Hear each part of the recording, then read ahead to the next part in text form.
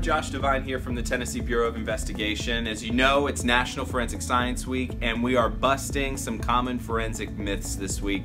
We want to talk a little bit about firearms now. So, when you watch some of these shows online, you might see, oh, they've got some firearms evidence, and lo and behold, 15 seconds later, they're able to match it all together. Does that really work that way? Well, here to answer some questions is forensic scientist LJ Hodge with TBI.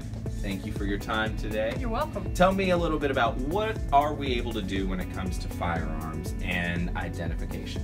When it comes to firearms evidence, we are able to match ammunition components such as cartridge cases and bullets back to a particular firearm.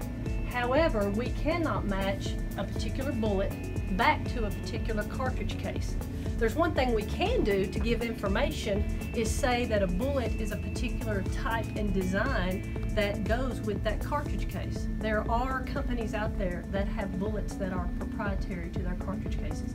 And we know what they are, and when we see those, we can say they're consistent with manufacturer type and design. Makes perfect sense, but it takes certainly some time to get up to speed on this kind of work. How much training did you go through to, to become a firearms forensic scientist? It, it's a two-year training program, and it's a solid two years of learning uh, not only about firearms, how they function, the safety features, and how to do microscopic examination, but keeping up to date on things that change. And one of the big things that changes in, in our field is uh, new types of ammunition manufactured. So there's always something new to learn. Yes, sir. There you go.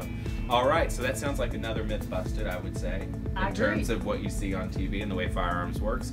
We'll be back with another one tomorrow. Have a great day.